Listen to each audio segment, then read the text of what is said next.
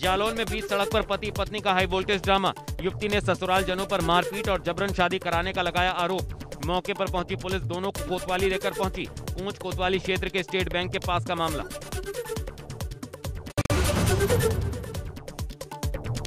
जिला चिकित्सालय के वार्ड में गंभीर बीमार महिला की तड़प तड़प कर हुई मौत। मृतक के परिजनों ने अस्पताल में जमकर किया हंगामा। अस्पताल प्रशासन को जमकर कोसा। ऑक्सीजन की कमी से मौत का लगाया आरोप, कांशीराम संयुक्त जिला चिकित्सालय की घटना।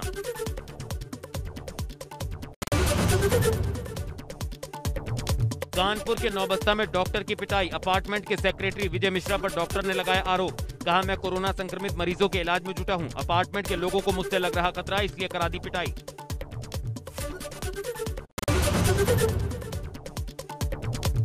बागपत में स्वास्थ्य विभाग की टीम पर हमला। टीम में शामिल दो डॉक्टर और एंबुलेंस चालक कोरोना संक्रमित 10 मरीजों की जाँच के लिए पहुँचे थे। टीम के पहुँचते युवकों ने रिपोर्ट को फर्जी बताकर बेवजह परेशान करने का लगाया आरोप।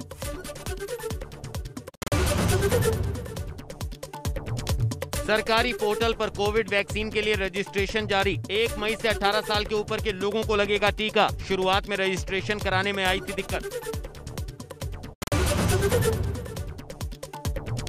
देश के अस्पतालों में ऑक्सीजन की आपूर्ति और बढ़ाने के लिए पीएम मोदी का एक और बड़ा फैसला, पीएम केयर्स फंड से खरीदे जाएँगे एक लाख पोर्टेबल ऑक्सीजन कंसंट्रेटर। जल्द से जल्द खरीद पूरी कर अधिक संक्रमण वाले राज्यों को उपलब्ध कराने का निर्देश 500 और पीएसए ऑक्सीजन संयंत्र पीएम केयर्स फंड के तहत मंजूर।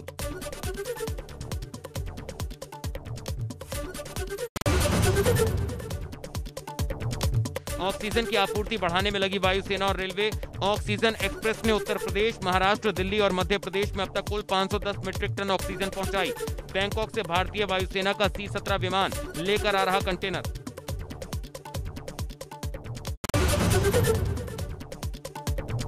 प्रधानमंत्री नरेंद्र मोदी ने वायुसेना प्रमुख air chief marshal R K S Bhadauria के साथ की बैठक। भदौरिया ने कोविड से निपटने के लिए भारतीय वायुसेना की ओर से किए जा रहे प्रयासों के बारे में प्रधानमंत्री को दी जानकारी। पीएम मोदी ने की रूसी राष्ट्रपति व्लादिमीर पुतिन के साथ फ़ोन पर बात। पीएम मोदी ने कहा, मेरे दोस्त पुतिन के साथ शानदार वार्ता, दोनों नेताओं ने कोविड के हालात पर की बातचीत।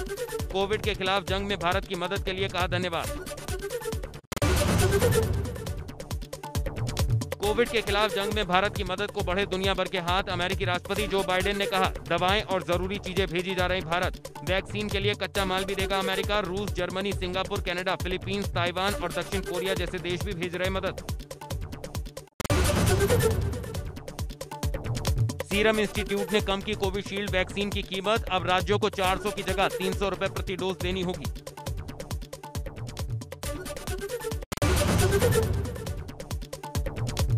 बीजेपी विधायक केसर सिंह गंगवार का कोरोना से निधन। नोएडा के अस्पताल में इलाज के दौरान तोड़ा दम। सीएम योगी ने निधन पर जताया शोक। टीम 11 की बैठक में सीएम योगी ने दिए निर्देश। हर सीएचसी में 10-10 ऑक्सीजन कंसंट्रेटर उपलब्ध हों। कोविड टेस्ट डेडिकेटेड बेड्स की क्षमता दोगुनी की जाए। जरूरतमंदों को डीएम, सीएमओ, रेमडेसिविर उपलब्ध कराएँ। सीएम योगी ने कहा, समय से पर्याप्त ऑक्सीजन मुहैया कराई जाए। जीवन रक्षक दवाओं की उपलब्धता सुनिश्चित हो। हर ज़िले में दो दो सीएचसी कोविड डेडिकेटेड की जाए। कोविड अस्पताल की स्थिति पर नज़र रखें।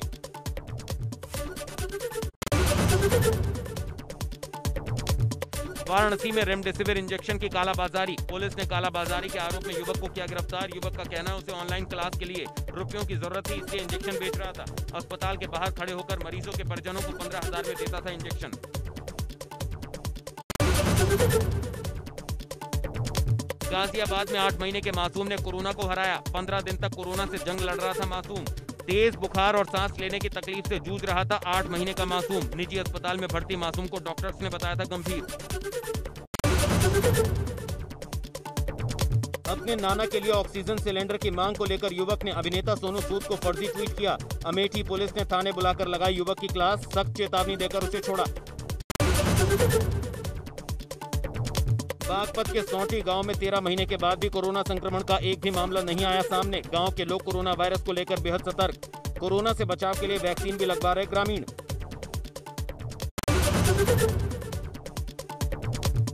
केंद्रीय मंत्री साध्वी निरंजन, ज्योति कारागार, राज्य मंत्री सहित बीजेपी नेताओं के साथ जिला अस्पताल में औचक निरीक्षण करने पहुँची। तड़पते मरीजों का लिया हालचाल। उनके परिजनों को दिया आश्वासन, प्राइवेट गाड़ी भेजकर ऑक्सीजन उपलब्ध कराई।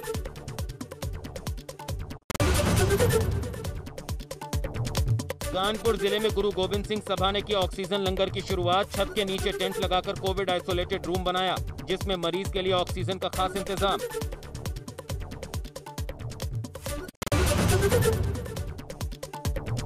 कोरोना महामारी के बढ़ते प्रकोप का दिखा असर पुलिस कमिश्नर लखनऊ की अगुवाई में, रिज़र्व पुलिस लाइन लखनऊ परिसर को किया गया सैनिटाइज।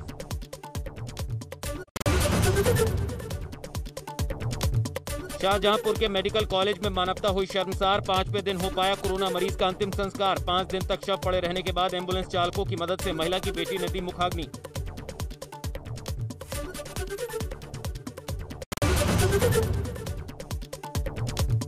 रायबरेली के शमशान घाट पर सौ से अधिक लाशें जलती रोज़ाना। लोगों को शव का अंतिम संस्कार करने के लिए करना पड़ता बारी का इंतज़ार। कोरोना से हुई मौतों और सामान्य मौतों की लाशों को जलाने के लिए अलग अलग बनाए गए घाट। घाट पर गंदगी देख पंडों में आक्रोश।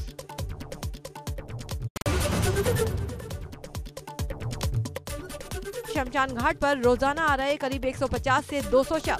एक घाट पर रोज हो रहा 70 से 80 शवों का अंतिम संस्कार। घाट पर शवदा करने वाले भी हो रहे बीमार। कांग्रेस के पूर्व मुंबई अध्यक्ष एकनाथ गायकवाड़ का कोरोना से निधन। मुंबई के ब्रीच कैंडी अस्पताल में चल रहा था कोरोना का इलाज। एकनाथ गायकवाड़ महाराष्ट्र की शिक्षा मंत्री वर्षा गायकवाड़ के पिता थे। देश में जारी है किलर कोरोना का कहर। गाजियाबाद में पत्रकार राजू मिश्रा का निधन। कोरोना संक्रमित होने के बावजूद तीन दिनों से नहीं मिला था वेंटिलेटर। देहरादून प्रशासन की लापरवाही का बड़ा खुलासा। बिना जाँच किए ऑक्सीजन सप्लाई के लिए नंबर किए जारी। सभी नंबर बंद या गलत निकले। देश में कोरोना आंकड़ों ने तोड़े सारे पुराने रिकॉर्ड। पहली बार पिछले 24 घंटे में तीन लाख साठ हज़ार नौ सौ साठ नए मरीज़। एक दिन के अंदर तीन हज़ार दो सौ तिरानवे मौत से मचा हड़कंप। दो लाख इकसठ हज़ार एक सौ बासठ लोग ठीक। 27 अप्रैल तक देश भर में 14 करोड़ अठहत्तर लाख सत्ताईस हज़ार तीन सौ सड़सठ लोगों को कोरोना की खुराक दी जा चुकी है। बीते दिन 25 लाख छप्पन हज़ार एक सौ बयासी लोगों को कोरोना के टीके लगे। भारत में अब तक 28 करोड़ 27 लाख से ज़्यादा कोरोना सैंपल टेस्ट किए जा चुके हैं। इनमें से 17 लाख तेईस हज़ार से ज़्यादा सैंपल एक दिन में टेस्ट किए गए। देश में कोरोना केस बढ़कर हुए एक करोड़ उन्यासी लाख सत्तानवे हज़ार दो सौ सड़सठ। एक्टिव केस की तादाद पहुँची उनतीस लाख अठहत्तर हज़ार सात सौ नौ। कोरोना से जान गंवाने वालों का आंकड़ा हुआ दो लाख एक हज़ार एक सौ सत्तासी। इसके अलावा एक करोड़ अड़तालीस लाख सत्रह हज़ार तीन सौ इकहत्तर लोग ठीक होकर अस्पताल से डिस्चार्ज। यूपी में लगातार चौथे दिन कोरोना के आंकड़ों में कमी। पिछले 24 घंटे में कोरोना के उनतीस नए केस मिले। दो सौ छियासठ मरीजों की हुई मौत। प्रदेश में ऑक्सीजन की आपूर्ति को लेकर अपर मुख्य सचिव गृह अवनीश अवस्थी ने दी जानकारी। कहा, अब तक प्रदेश के अस्पतालों में रिकॉर्ड ऑक्सीजन की हुई सप्लाई, ऑक्सीजन की सप्लाई को लेकर बनाया गया कंट्रोल रूम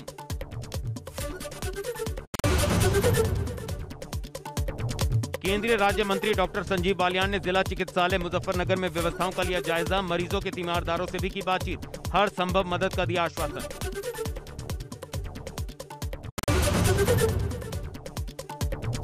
राहुल गांधी ने कोरोना के बिगड़ते हालात पर किया ट्वीट, लिखा, किसी का दिल छूने के लिए हाथ छूने की ज़रूरत नहीं। मदद का हाथ बढ़ाते चलो, इस अंधे सिस्टम को सच दिखाते चलो। कोरोना संकट के बीच जनता के नाम प्रियंका गांधी वाड्रा का पत्र लिखा, पूरे देश में सासों के लिए चल रही है जंग। इस सरकार ने देश की उम्मीदों को तोड़ा है। कांग्रेस महासचिव प्रियंका गांधी ने कहा, मैंने कभी नहीं सोचा था सरकार ऐसे पीठ दिखाएगी। लड़ाई में सब एक है, भेदों को नहीं पहचानता वायरस। संकट की घड़ी में आगे आए एमएलसी वसीम बरेलवी। अपनी पूरे साल की विधायक निधि कोविड व्यवस्थाओं के लिए दी। ऑक्सीजन वेंटिलेटर खरीदने के लिए दी विधायक निधि। आगरा में ऑक्सीजन की आपूर्ति के लिए वायुसेना की मदद। वायुसेना के स्पेशल विमान से ऑक्सीजन के दो खाली टैंकर आगरा से Ranchi airlift special oxygen express पर लोड होकर आएँगे ऑक्सीजन टैंकर। कानपुर से ऑक्सीजन की किल्लत के बीच एक अच्छी खबर। अब खपत और बची हुई ऑक्सीजन को लेकर मिलेगी सटीक जानकारी। आईआईटी कानपुर ने बनाया ऐप। सीएम योगी के निर्देश पर तैयार किया गया ऐप।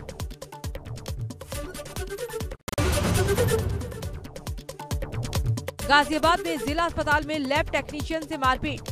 पीड़ित टेक्नीशियन ने पुलिस से की शिकायत, कार्रवाई न होने पर कोविड जाँच ठप करने की कही बात। प्रतापगढ़ में जिला अस्पताल का हाल बेहाल, मरीजों को नहीं मिल रहे बेड। ज़मीन पर लिटाकर किया जा रहा है मरीजों का इलाज, वीडियो वायरल।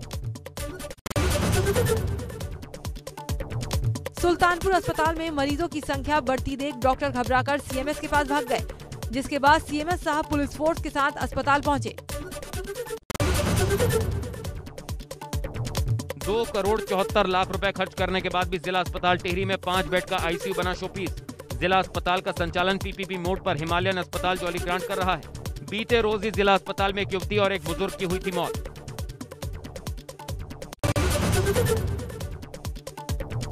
कोरोना महामारी के चलते स्वास्थ्य विभाग अलर्ट, उत्तराखंड और यूपी राज्य की सीमा दर्रा रेट पर सभी लोगों का किया जा रहा rapid antigen test RTPCR test report दिखाने पर ही दी जा रही एंट्री रोज़ाना 200 से 250 लोगों की हो रही जाँच।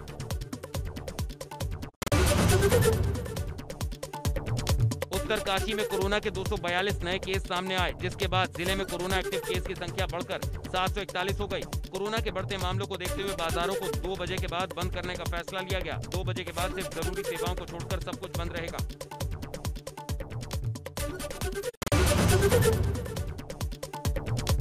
कुंभ नगरी हरिद्वार में महाकुंभ के सारे शाही स्नान पूर्ण होने के बाद हरिद्वार ज़िले में तीन मई तक लगा कोविड कर्फ्यू। सिर्फ़ ज़रूरी सेवाओं को ही छूट। हरिद्वार पुलिस ने अनावश्यक रूप से घूम रहे लोगों के काटे चालान।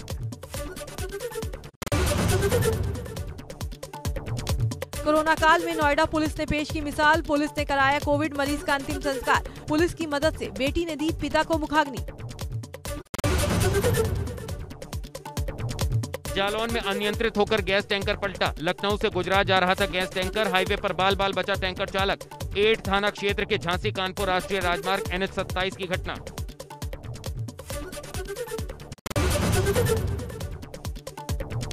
कानपुर में निर्माणाधीन बिल्डिंग गिरने से एक की मौत, दूसरा गंभीर रूप से घायल। शटरिंग खोलने के दौरान हुआ हादसा। राहत बचाव टीम और पुलिस ने घायल और मृतक के शव को निकाला बाहर।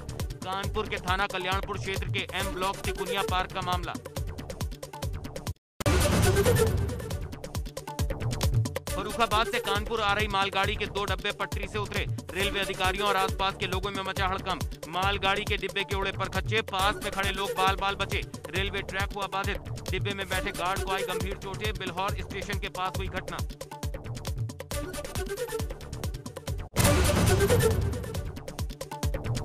हाथरस में जहरीली शराब पीने से छह लोग की मौत, छह से ज़्यादा लोग गंभीर रूप से जख्मी। सभी अलीगढ़ रेफर पुलिस ने एक आरोपी को किया गिरफ़्तार नगला सिकी गाँव की घटना। हाथरस में शराब पीने से छह लोगों की मौत के मामले में कार्रवाई। एसपी ने हल्का प्रभारी हल्का बीट, आरक्षी को लापरवाही बरतने के आरोप में किया निलंबित। प्रभारी निरीक्षक की भूमिका की जाँच के आदेश। मिर्जापुर के छोटी गुदरी इलाके में बड़ा हादसा। मकान की छत गिरी, मलबे में दबने से पाँच लोग की मौत। रेस्क्यू टीम ने काफ़ी मशक्कत के बाद मलबे से बाहर निकाले पाँचों के शव। पुराने मकान में किराए पर रहता था परिवार, अचानक सोते वक्त हुआ हादसा। सीएम ने हादसे पर दुख जताते हुए मुआवजे का ऐलान किया। मृतकों के परिजनों को दो दो लाख की आर्थिक मदद दी जाएगी।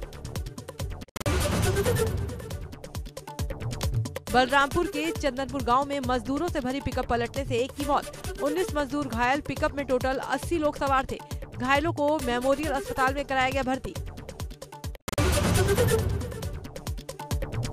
हरदोई में बोरवेल में गिरे मासूम की अस्पताल पहुँचने पर मौत। तीन साल के बच्चे को रेस्क्यू कर निकाला गया था। भाई के साथ खेलते वक्त बोरवेल में गिरा था मासूम। हरपालपुर के सतौथा गाँव का मामला। हमीरपुर में दो ट्रकों में भीषण भिड़ंत के बाद लगी आग। गिट्टी और मोरंग लेकर आ रहे थे दोनों ट्रक। मौधा थाना क्षेत्र के नेशनल हाईवे चौतीस की घटना।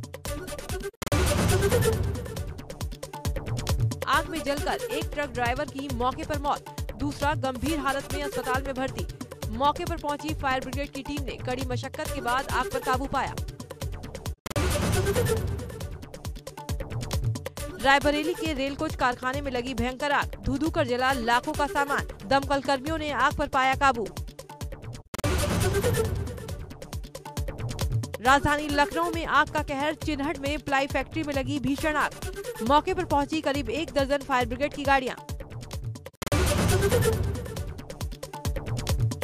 पत्रकार सिद्दीक कप्पन का दिल्ली में होगा इलाज। सुप्रीम कोर्ट ने दिल्ली एम्स या आरएमएल में इलाज कराने के दिया आदेश। कोर्ट ने जमानत से मना करते हुए निचली अदालत जाने को कहा। हाथरस में हिंसा की साजिश का है आरोप।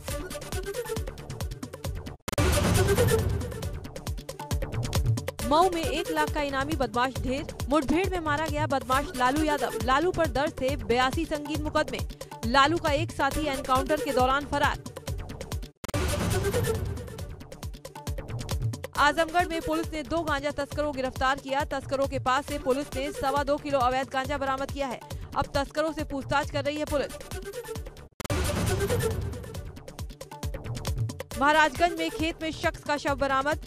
शव को जैसे ही ग्रामीणों ने देखा, इसकी सूचना उन्होंने पुलिस को दी। घंटों देर बाद भी मृतक की पहचान नहीं हो सकी। मऊ ज़िले में अंतिम चरण के मतदान के लिए पोलिंग पार्टियाँ हुई रवाना। ज़िले के सभी नौ ब्लॉक से पोलिंग पार्टियों को उनके साजो सामान के साथ रवाना किया गया, सभी को महामारी में पूरे कोविड प्रोटोकॉल के तहत चुनाव संपन्न कराने की सख्त हिदायत दी गई सोनभद्र में पंचायत चुनाव के लिए पोलिंग पार्टियाँ मतदान केंद्र के लिए रवाना मतदान कर्मी नहीं रख रहे कोरोना नियमों का पालन। चौथे और आखिरी चरण के मतदान कल बहराइच में गल्ला मंडी के सभी बारह मतदान केंद्रों के लिए पोलिंग पार्टियों को किया गया रवाना। सभी मतदान कर्मी कोविड किट से लैस। मिर्जापुर में पंचायत चुनाव में मतदान के दौरान हुए बवाल को लेकर पुलिस की कार्रवाई। पाँच आरोपी गिरफ़्तार, ग्यारह नामजद और अस्सी अज्ञात पर मुकदमा दर्ज। काशी विश्वनाथ मंदिर परिक्षेत्र में स्थित प्राचीन अक्षयवट गिरने से मचा हड़कम। काशी विश्वनाथ कॉरिडोर के निर्माण काम के दायरे में आ गया था अक्षयवट। मंदिर के महंत अक्षयवट गिरने को मान रहे अशुभ।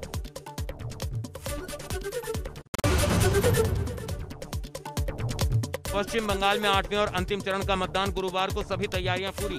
चुनाव आयोग ने मतगणना वाले राज्यों को भेजे दिशा निर्देश कोविड 19 के दिशा निर्देश का सख्ती से पालन करने को कहा। उम्मीदवार या एजेंट को मतगणना से पहले देनी होगी कोविड नेगेटिव रिपोर्ट। विजय जुलूस पर सख्त पाबंदी।